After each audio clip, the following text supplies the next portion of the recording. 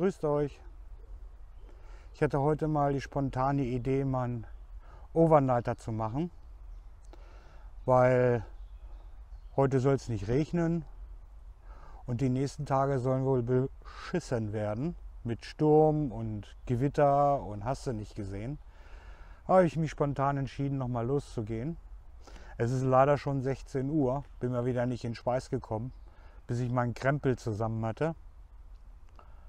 Ja, habe natürlich auch wieder was vergessen. Ich habe natürlich meinen Tisch mitgenommen, aber meinen Klappstuhl habe ich nicht mitgenommen. Aber Gott sei Dank liegt ja hier jetzt ein Baumstamm, da kann man auch drauf sitzen. Ja, einigen von euch, die mein Hängematten-Video schon gesehen haben, wird bestimmt auf, wahrscheinlich auffallen, dass das äh, der gleiche Ort ist, weil ich hatte nicht groß Lust, jetzt noch was Neues zu suchen. Und hier weiß ich, dass ich meine Ruhe habe. Ja, und dann werde ich jetzt langsam mal aufbauen. Ich habe wieder die Hänge, äh, Nightcat Hängematte mit, aber diesmal werde ich oben ohne übernachten, also unter freiem Himmel, nur unter dem äh, Moskitonetz, weil doch schon einiges an Fliegen wieder unterwegs sind. Und ich weiß nicht, irgendwie mögen die mich. Na gut, dann werde ich so langsam mal anfangen aufzubauen. Ja, und dann sehen wir weiter.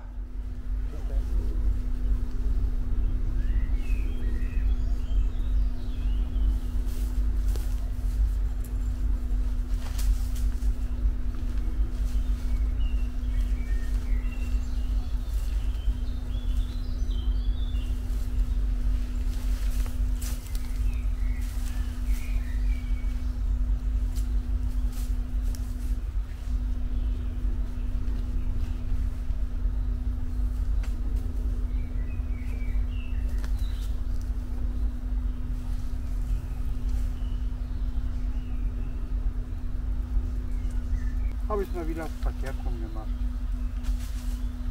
Wenn ihr den genauen Aufbau mal sehen wollt, dann könnt ihr euch gerne das erste Hängematten-Video von mir angucken. Das werde ich euch hier oben mal verlinken. Da sage ich natürlich auch was dazu. Jetzt nochmal damit anfangen, wäre Blödsinn. Das Gestänge, das mache ich natürlich rein, weil sonst muss ich eine extra Ritschlein aufhängen für das Moskitonetz. Und das wäre Blödsinn. Meine, wozu habe ich das? Oh, die fliegen aber auch schon wieder rum, die Viecher.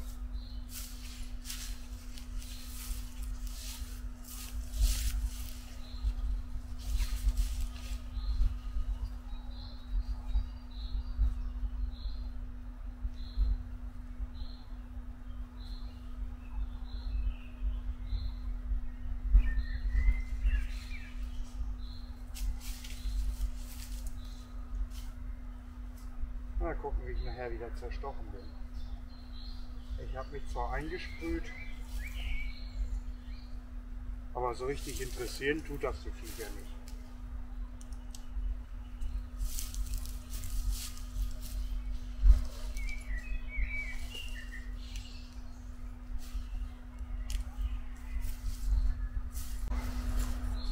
Das war's. Und was ich ja schon erwähnt habe im ersten Video ist, durch das Gestänge ist natürlich der Schwerpunkt immer sehr hoch. Das heißt, sie dreht sich. Da muss man mit leben. Man kann es abspannen, aber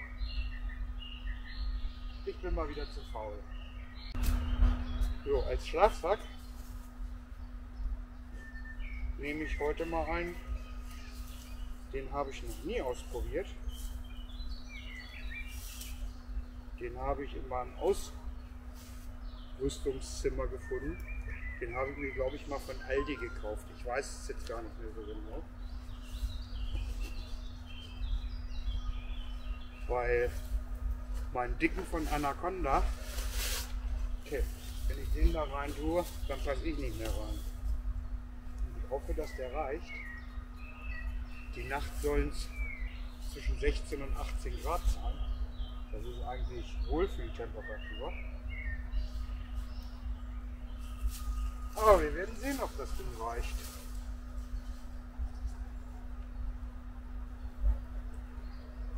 Ein Komfortbereich soll 5 sein. 5 Grad, was ich nicht glaube. Ich glaube, man wird wahrscheinlich ab 10 Grad schon bei dem Ding frieren. Aber das ist auch egal.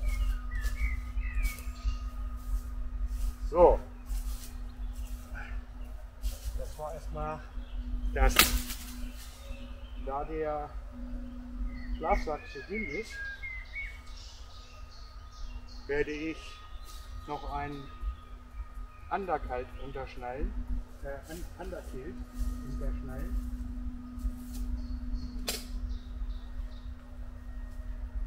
Ihr seht, ist noch nagelneu. Nimmt man eigentlich für den Winter. Aber ich bin eine Froste, Frostebeule. Und dann probieren wir das Ding jetzt einfach mal aus. Schaden kann es jedenfalls nicht. Auch wieder ein Camouflage-Look. Ist von On Tigres.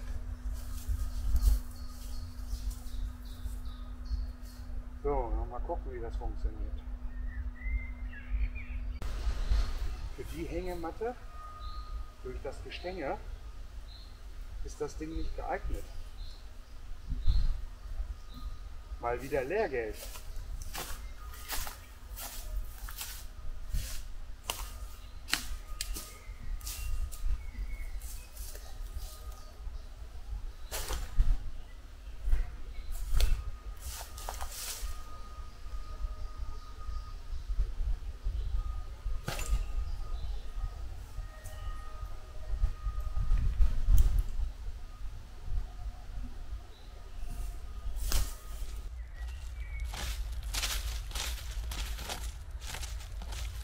Grüßt euch.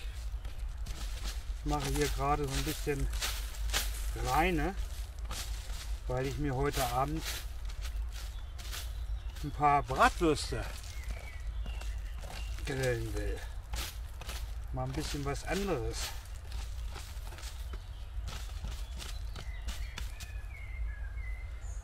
So. Wichtig ist, also ich mache es so, die sieht zwar noch neu aus, aber das ist schon die zweite. Das ist eine Brandschutzmatte. Es geht ja jetzt bald wieder die Saison los. Wegen der Trockenheit. Es hat ja auch nicht viel geregnet. Ich meine, die Erde ist zwar nass, aber besser ist besser. So. Und dann habe ich hier also keine Angst, ich will jetzt hier nicht einen Kuchen backen. Das ist meine mobile Feuerstelle. Also ich habe sie schon gebraucht. Sie ist nicht mehr neu. Für Outdoor super. Eins ist Manko, sie ist Silber. Sie wird gesehen. Also ich hoffe, dass sie nach einer Zeit ganz schön schwarz wird. Ich werde sie dann auch nicht mehr groß putzen. Weil lackieren bringt nichts, das brennt wieder weg. Und so spare ich mir Steine suchen und hast du nicht gesehen. Und das Ding, wie gesagt, ist klein, hat hier auch so Füße, steht also nicht direkt auf dem Boden.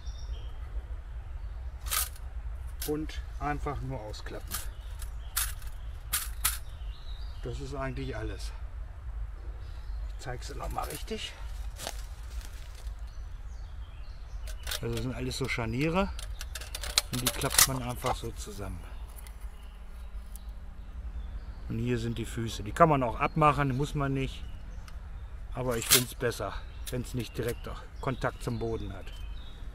Ja, und dann stellt man die einfach nur so hin. Das ist schon alles.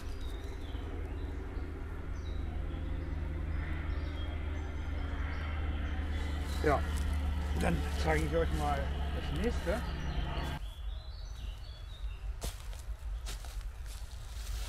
Ich hole euch mal ein bisschen näher ran.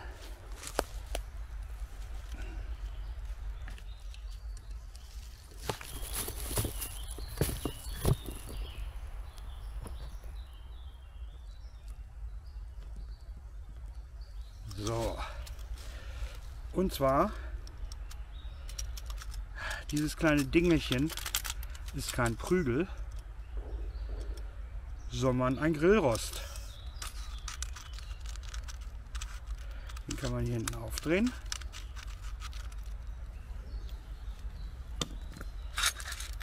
Dann hat man hier das Gestänge.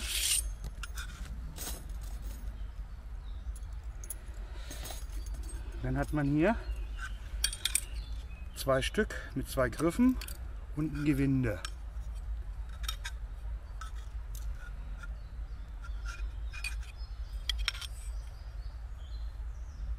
Und jetzt muss ich erstmal selber schauen. Ich habe es zwar schon mal ein paar Mal benutzt. Äh, so rum. Dreht man hier rein.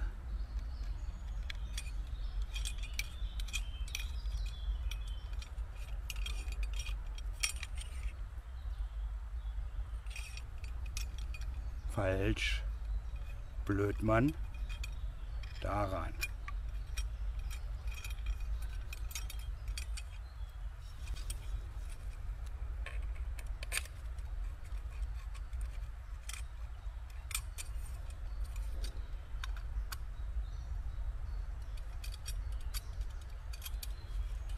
So. Dann hat man schon mal das Grundgestell. Und hier steckt man jetzt die Stäbe rein. Alle nacheinander. Das Schöne ist, dass man die Stäbe hinterher, wenn man gegrillt hat, wunderbar sauber machen kann. Man braucht nur ein bisschen Wasser und einen Lappen, zieht die einmal durch den Lappen und gut ist. Also das Ding habe ich jetzt zweimal benutzt und man sieht eigentlich nichts.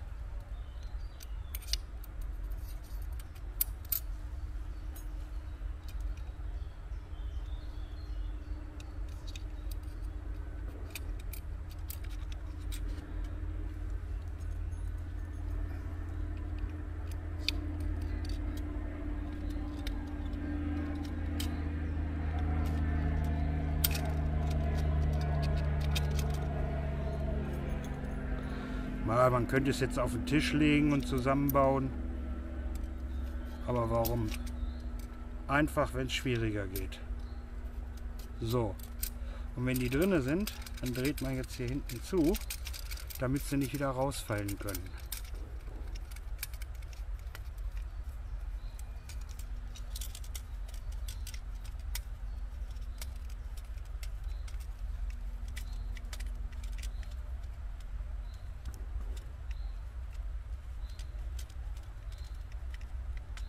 So, das ist alles. Dann haben wir hier noch Füße.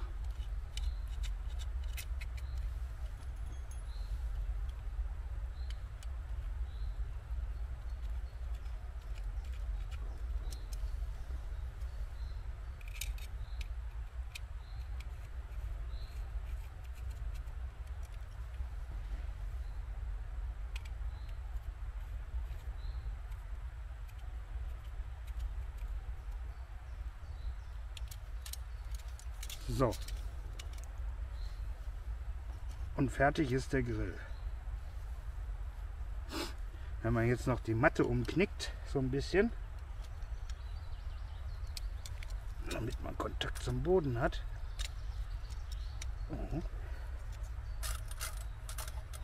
hat man natürlich auch die Möglichkeit, stufenlos einzustellen, wie weit die Bratwürste von der, vom Feuer weg sein sollen, indem man sie einfach tiefer setzt, reindrückt. Und schon hat man eine höhere Temperatur oder eben man zieht es wieder raus. So, das ist heute mein Grill. Und wie gesagt, die Schale ist natürlich auch als Feuerschale zu benutzen.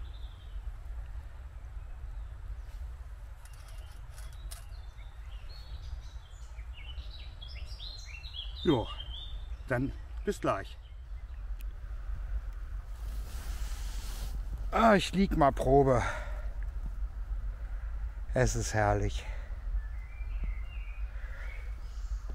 Sagt mal ehrlich. Meine gut, das ist jetzt ein bisschen milchig, weil ich durch ein Moskitonetz filme. Aber so morgens aufzuwachen, das ist doch herrlich, oder?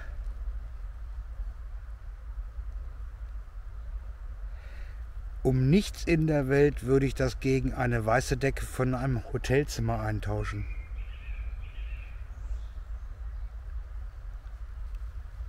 Ich freue mich schon auf heute Nacht.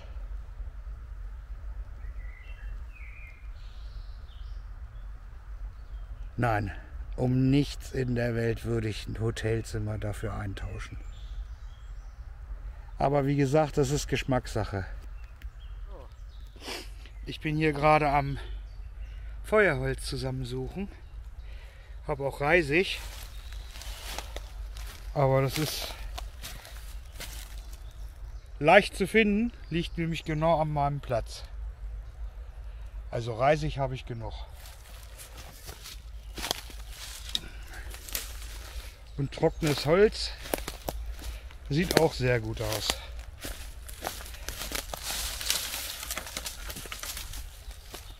Also das ist sehr gut.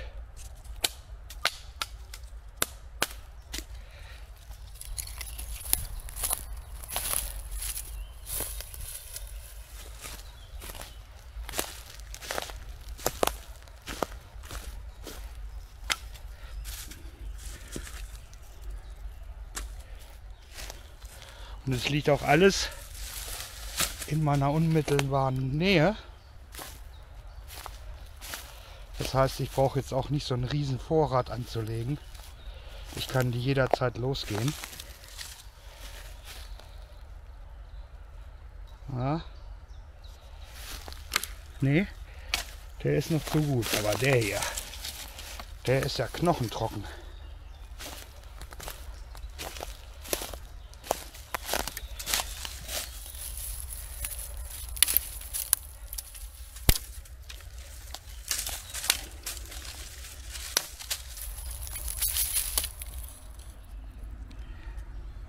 Bereite jetzt schon langsam mal den Feuerstarter vor. Ich benutze dafür Kienspan. Ja, ich weiß, er ist gekauft. Ehrlich gesagt habe ich keine Lust, Kienspan zu suchen. Erstmal ist es Glückssache und zweitens eine Schweinearbeit, den rauszufämeln. Ich nehme den hier kostet 3 Euro und hält auch lange. Warum Kienspan? Weil ich natürlich mit Feuerstahl das Feuer anmache.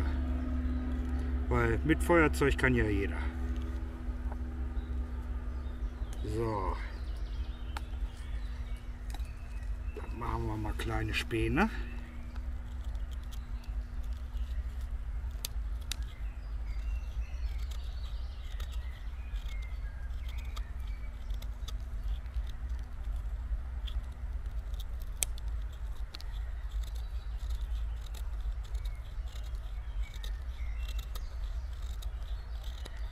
Kann man nämlich schöne Locken machen.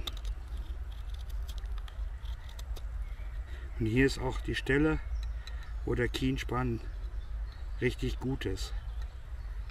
Der ist voller Öle und der brennt auch, wenn er nass ist.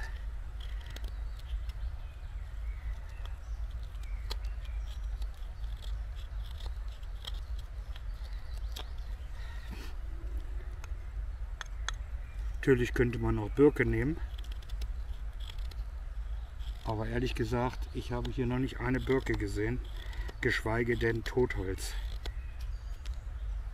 Weil Birkenrunde von einem gesunden Baum zu schneiden, ist ein absolutes No-Go.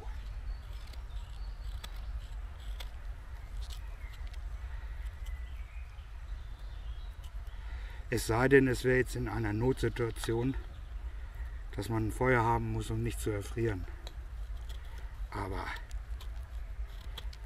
wer das macht, ohne Not, ist ein Idiot. Weil das ist schließlich eine Verletzung vom Baum. Und er muss unheimlich viel investieren, um die Wunde wieder zu schließen. Und das macht man einfach nicht. Ich habe dann hier noch so getränkte Bindfäden, die nehme ich auch noch dazu. Ja, und dann wird es entzündet.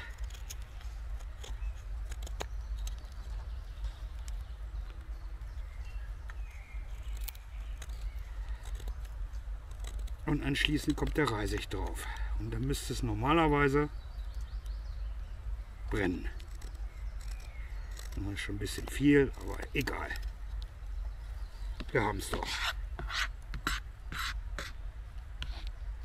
So, das soll reichen.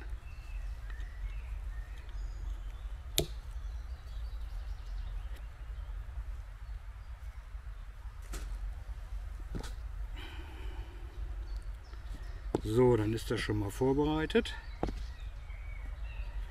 Wie gesagt, Kienspan kennt ja wohl jeder.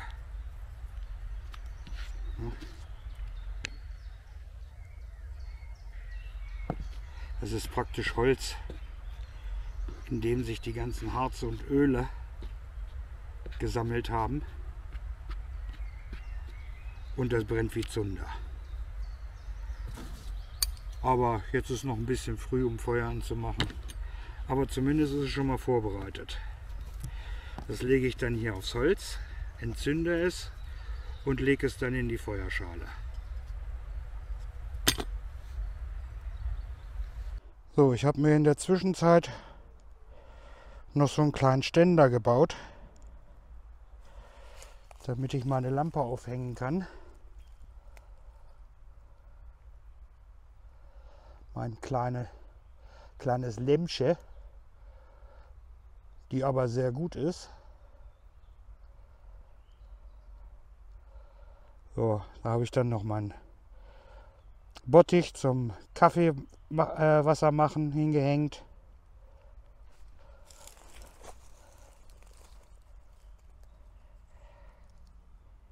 Hier hängt dann noch meine Kopflampe und das Kopfteil für die Kamera. So habe ich alles griffbereit. Ja, das ist jetzt so mein Esstisch. So, Jetzt werde ich erstmal ein Bierchen trinken und mal kurz genießen. Prost. Ich hoffe, ihr auch macht, habt auch eins offen.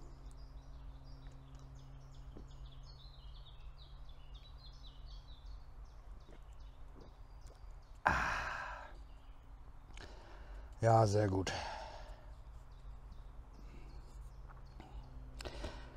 Ja, wenn ich immer das so sehe, hier so ein Loch, damit man die Dose reinstellen kann oder was anderes. Weil wenn man jetzt mal ein bisschen im Dunkeln mal aufsteht, zack, liegt die Scheiße gleich auf dem Boden.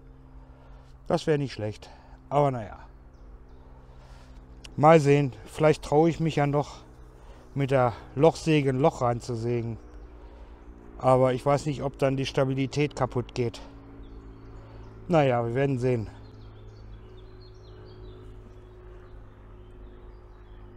Ja, wieder ein Sportflugzeug. Ja, ich bin hier ungefähr sieben Kilometer von einem Sportflughafen weg. Da springen sie auch mit Fallschirm und Gleitschirm. Da ist auch eine Schule. Ich meine, es ist jetzt nichts Besonderes. Es ist ein ganz kleines Waldstück. Äh, ich kann hier auf die Felder gucken. Ich sehe auch noch Bauern, die hier mit ihren Treckern rumfahren. Aber das ist völlig egal. Es ist ein Wald. Na? Ich sage immer, ab 20 Bäume ist es ein Wald. Und das reicht mir eigentlich schon. Ich bin jetzt nicht so der Typ, der an die See muss. Meine Freunde wissen das, wenn ich an der Küste irgendwo bin, das dauert zehn Minuten, dann habe ich Kopfschmerzen von diesem blöden Wind. Ja. Wie gesagt, also für mich ist die Nummer eins Wald. Braucht nicht groß sein, meine, beim, beim ersten Video von der Hängematte habe ich ja gesagt, dass hier hinten die Autobahn ist. Aber das ist mir auch völlig Wuppe. Hauptsache Wald. Ja, ich habe das heute Mittag spontan entschieden. Denke, schönes Wetter. Die nächsten Tage soll es beschissen werden. Gehst du noch mal in den Wald. Und ehe ich dann meinen ganzen Krempel zusammengesucht habe, ne, es ist die ganzen Kameras und hast du nicht gesehen. Ja, da braucht man eben eine Zeit.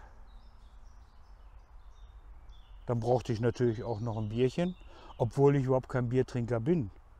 Komischerweise.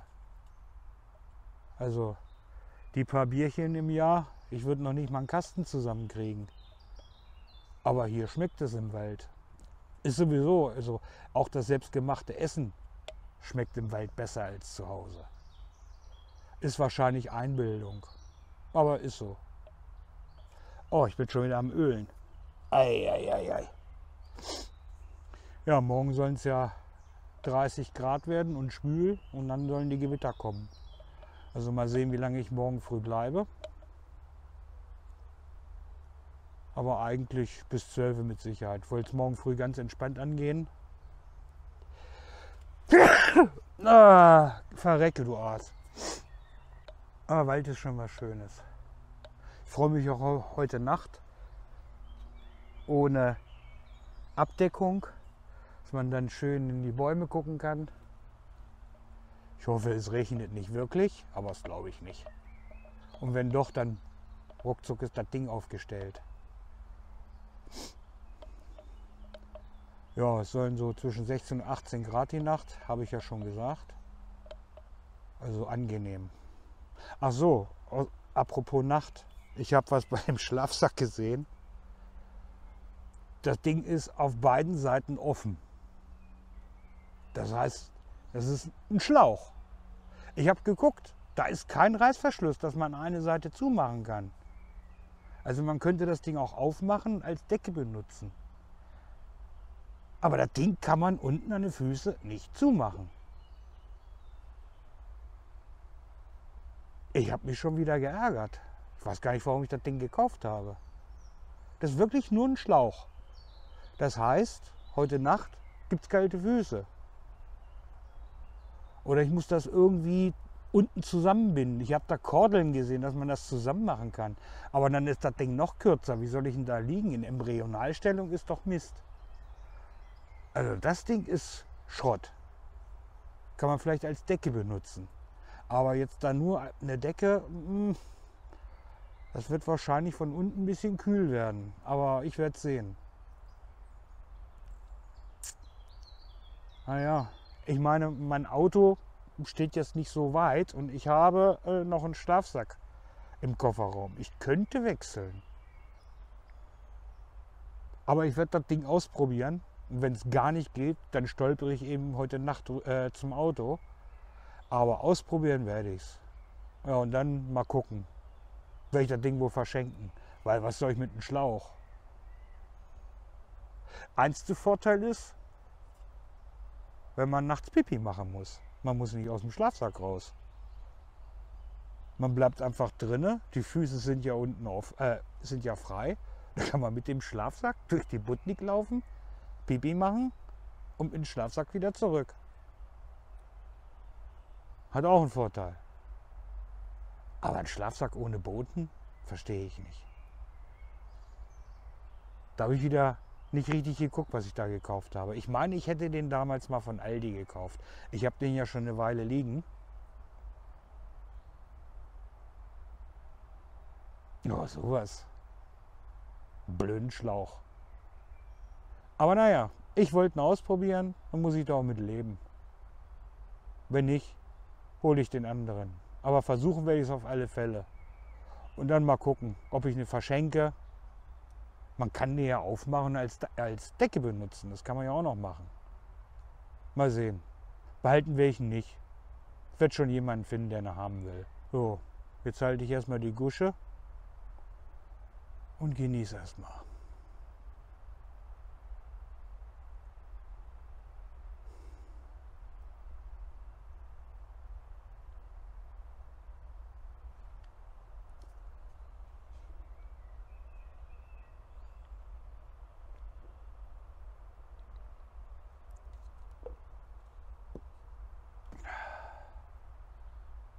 Mir fehlt mein Stuhl.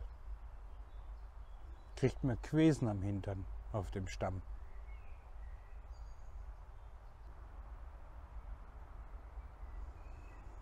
Naja, ihr müsst mir jetzt ja nicht dazu gucken, wie ich mich hier entspanne. Wir sehen uns später. Ich bin's wieder. Ich wollte euch mal diesen komischen Schlafsack mal zeigen.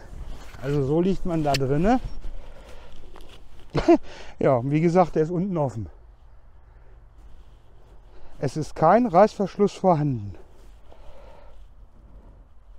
Also, ich glaube, ich hole mir den anderen Schlafsack. Weil ich meine, es ist natürlich praktisch, ne? Man könnte jetzt nachts Pipi machen gehen. Zack, hüpfen. Kurz runter.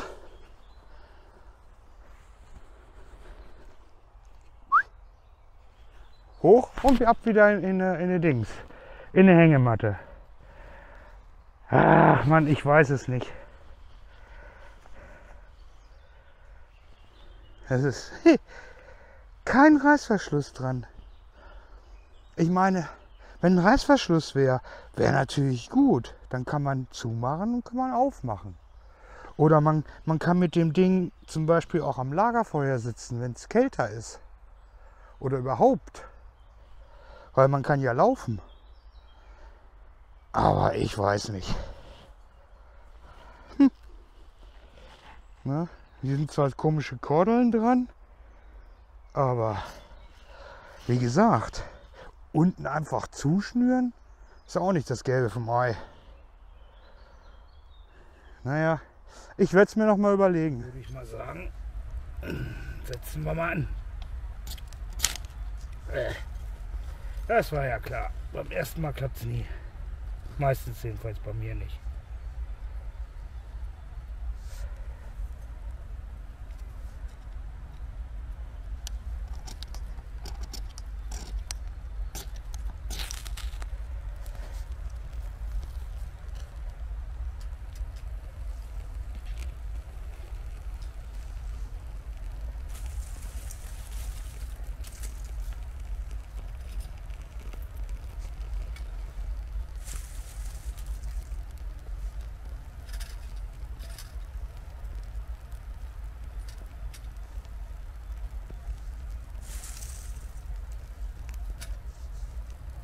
So, ist mal ein bisschen reisig.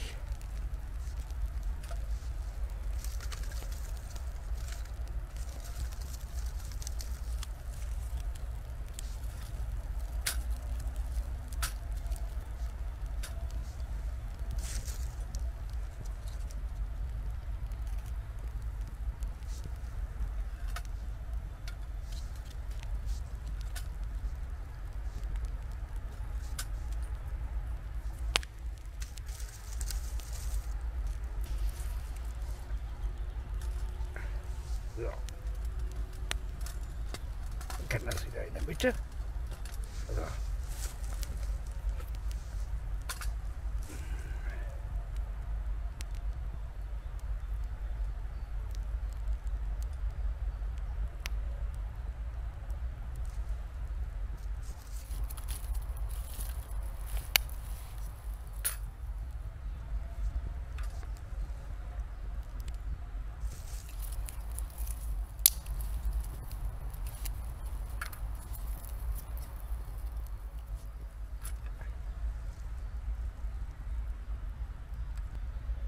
Ach, so ein Feuer ist immer wieder herrlich.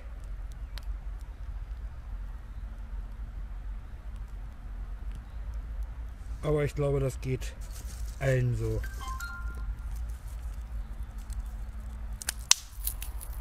Zumindest den Männern.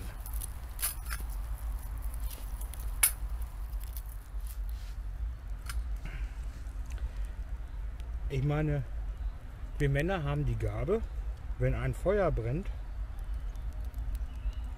wir haben ein Bier in der Hand, können wir stundenlang davor sitzen und ins Feuer gucken. Wir müssen noch nicht mal was sagen. Es ist schon komisch.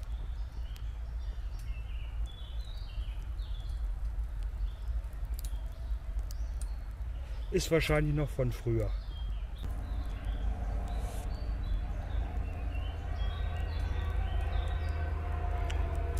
Also diese Feuerschale ist echt super. Man muss nicht buddeln, man muss keine Steine suchen. Es ist kein direkter Kontakt zum Boden. Weil man muss da so sehen, wenn man jetzt äh, einen Steinkreis macht und direkt auf dem Boden, die Hitze, die steigt ja in den Boden rein. Und alles, was keucht und fleucht, wird durch die Hitze abgetötet. Also es dauert unheimlich lange, bis an der Stelle wieder was wächst, geschweige denn irgendwelche Organismen sind. Gut, es wird natürlich jetzt durch die Matte trotzdem warm, aber auf alle Fälle weniger, als wenn man es direkt macht.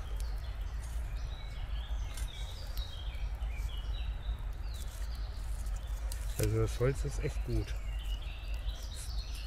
Ist echt trocken. Hat natürlich nicht so einen dollen Brennwert. Man muss echt oft was nachlegen.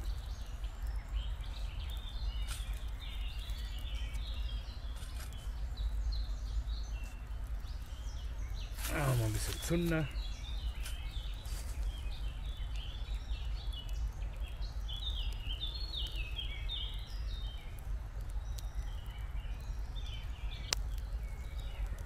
So, jetzt werde ich hier mal ein bisschen was nachlegen, dass eine schöne Glut entsteht. Und da kommt dann Holzkohle drauf. Also Kokoskohle. Die hat natürlich den Vorteil, dass sie nicht so räuchert und unheimlich lange hält. Man könnte jetzt die Bratwurst auch über offenen Feuer machen. Aber ich finde, sie schmeckt dann immer ein bisschen merkwürdig. Ich mache es lieber über Kohle.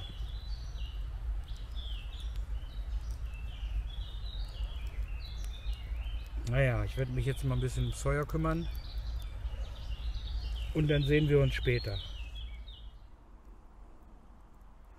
Aber ich glaube, werde noch mal losgehen und noch mal ein paar dickere Äste besorgen. Dieses Kleinkram ist ruckzuck weg. Und wenn ich da jetzt so zwei, drei dicke drauf lege, dann habe ich auch genug Glut und dann kann schon die Holzkohle drauf.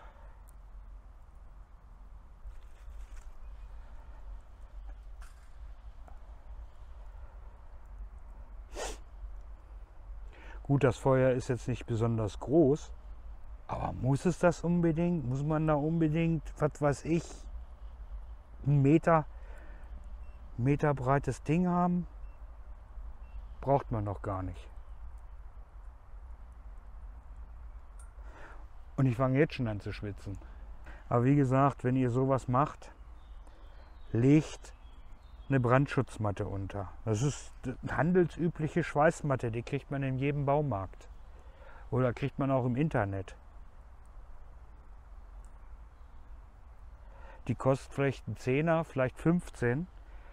Aber die Dinger, die halten ja ewig. Und man ist auf der sicheren Seite. Und ich sag mal, wenn jetzt zum Beispiel ein Förster kommt oder ein Jäger und ein, erwischt einen wirklich mal. Und der kommt hierher und sieht das mit einer Matte, mit so einer Feuerstelle. das macht doch schon wieder einen ganz anderen Eindruck. Na? Ich bin auch im Überlegen, ob ich mir so einen kleinen Feuerlöscher kaufe und den immer mitnehme. Und falls wirklich mal einer kommt, ich meine, was soll der denn sagen? Gut, es ist verboten. Machen wir uns nichts vor. Offenes Feuer ist im Wald verboten. Aber wenn, wenn die sehen, eine Matte, eine Feuerschale, daneben steht ein Feuerlöscher. Ich meine, vielleicht drücken sie dann auch mal ein Auge zu und sagen, ja, pass auf, mach weiter, aber verlass den Ort sauber. Und das mache ich sowieso. Ich habe eine Mülltüte dabei und morgen früh packe ich alles ein und mache das auch wieder alles zu. Also man wird gar nicht sehen, dass ich hier war. Und so muss es ja auch sein. Ja? Gut, es gibt immer ein paar Krachlatten, die, ne, die benehmen sich äh, wie die Axt im Walde, auf Deutsch gesagt. Und hinterher sieht es aus, als wenn eine Bombe eingeschlagen ist. Und die Natur braucht natürlich auch eine Weile, um das wieder äh, zurechtzumachen. Ne? Und das Wichtigste ist, ich werde das Feuer jetzt auch ein bisschen runterbrennen lassen und gehe dann erst los und hole Holz. Weil grundsätzlich lässt man ein Feuer nie alleine. Wenn man zu zweit ist, ist es kein Problem. Einer passt auf und einer geht Holz holen. Aber wenn man da jetzt, was weiß ich, so ein Feuer hat, da geht man nicht los und sucht was. Es braucht nun mal ein feuchtes Stück Holz sein und ein feuchtes Stück Holz weiß ja jeder, dann knallt das mal, dann fliegt was weg und dann brennt hier der, Wald ab. Ne? Also wie gesagt, ein Feuer niemals alleine lassen. Ich habe einen Liter Wasser, den kann ich notfalls zum Löschen nehmen. Und wenn man das dann abends aus, ausgehen lässt, wartet man wirklich, bis nur noch Glut da ist. Und am besten ist es natürlich, man löscht es. Aber wie gesagt, das kann ich jedem nur ans Herz legen, weil Feuer ist nun mal gefährlich im Wald. Gerade bei der Trockenheit. Ich meine, das ist ja wirklich alles furztrocken. Da braucht nur was rausspringen und schon brennt die Hütte. Wie gesagt, also Feuer niemals alleine lassen. Aber wem erzähle ich das? Wer solche Videos guckt, der hat das mit Sicherheit schon mal gemacht.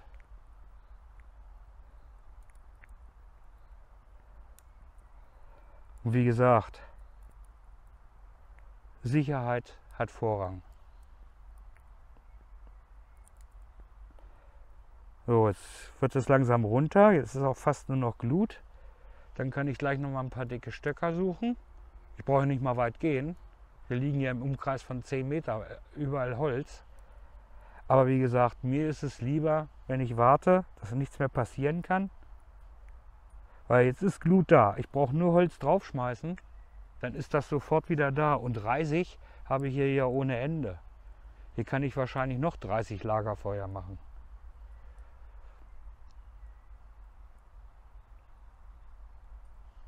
Na gut, dann sehen wir uns mit Sicherheit gleich wieder, wenn dann die Holzkohle drauf ist und dann gibt es Bratwurst. Ich habe nämlich so langsam Hunger.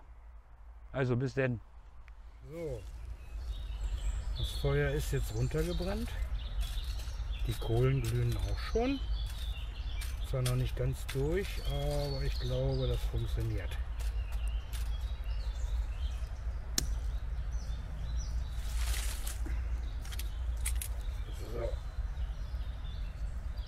Oh ja.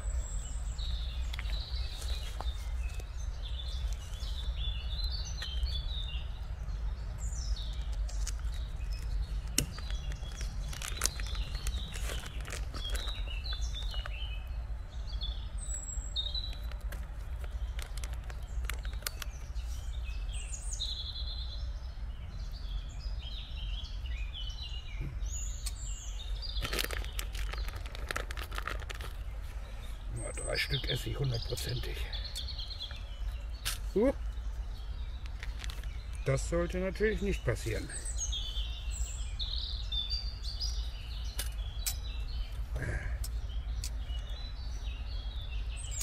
Aber ich sagte es so schön, Dreck scheuert Magen.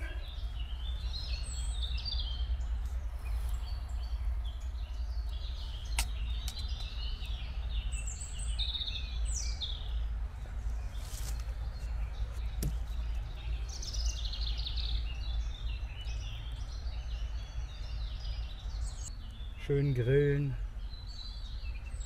Die Vögel zwitschern, was will man mehr? Gut, das kann man auch im Garten machen. Aber das ist wieder was ganz anderes. Da sitzt man dann auf dem kultivierten Rasen oder auf der Terrasse. Aber das hier ist was ganz anderes. Und wie gesagt, in der freien Natur schmeckt es nochmal so gut.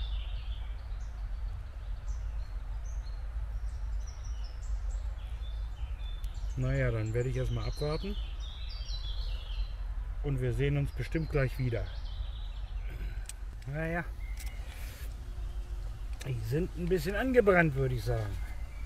Aber das macht nichts, sie sind fertig.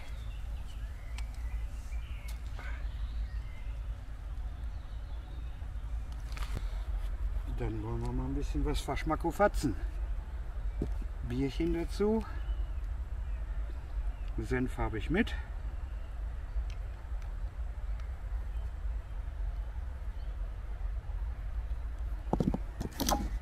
Dann wollen wir mal gucken, ob es schmeckt.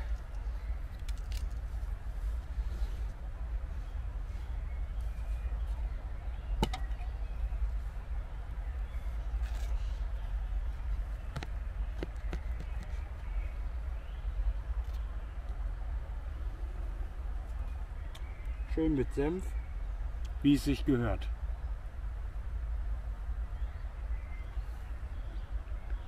Mmh.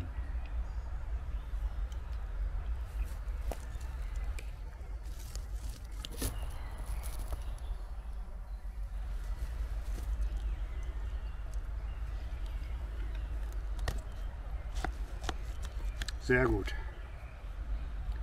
Das ist echt merkwürdig dass sowas in der Natur immer besser schmeckt.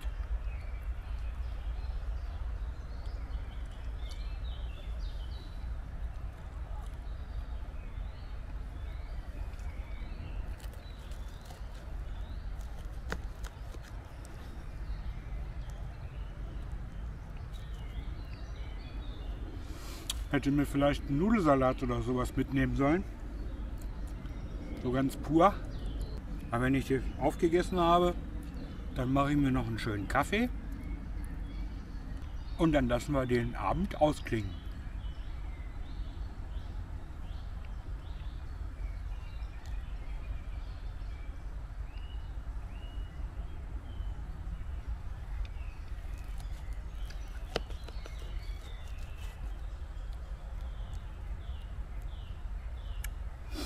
Ich melde mich dann später wieder, wenn ich aufgegessen habe. Ich bin wieder da. Es hat mir keine Ruhe gelassen. Ich bin noch mal zum Auto gegangen und habe noch mal im Kofferraum noch mal durchwühlt. Ich habe unten eine Decke drin liegen. Und da habe ich meinen Stuhl gefunden. Ah, jetzt hat mein verwöhnter Hintern wieder was zu sitzen. Ich wusste auch, dass ich den eingepackt habe. Ich habe den eigentlich immer im Auto, weil er ja so schön klein ist. Der nimmt ja keinen Platz weg. Ja, und weil er so klein ist, hat er sich unter die Decke gemogelt und ich dachte, ich hätte ihn nicht mit. Jetzt brauche ich wenigstens nicht mehr auf dem Baumstamm sitzen. Mann, ich bin aber auch ein verwöhntes Balk. In der Zwischenzeit habe ich mir heißes Wasser gemacht, kocht auch schon. Jetzt mache ich mir noch einen schönen Kaffee.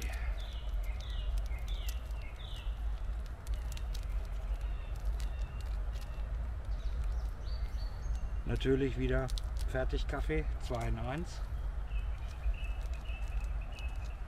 Spare ich mir die Milch mitzunehmen. Und so schlecht schmeckt er ja auch gar nicht. Mir da jetzt so eine Outdoor-Kaffeemaschine da holen, Wie so ein, so ein Bottich, den man heiß macht und dann runterdrückt. Oder wie das funktioniert. Brauche ich nicht. Das ist mir ehrlich gesagt viel zu teuer.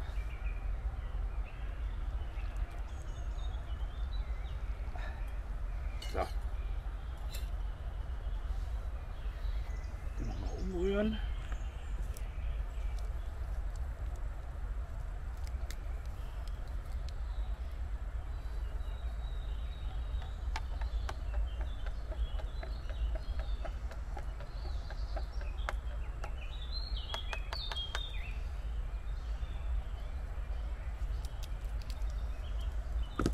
So. So, dann den, wie sagt man so schön, Feierabendkaffee.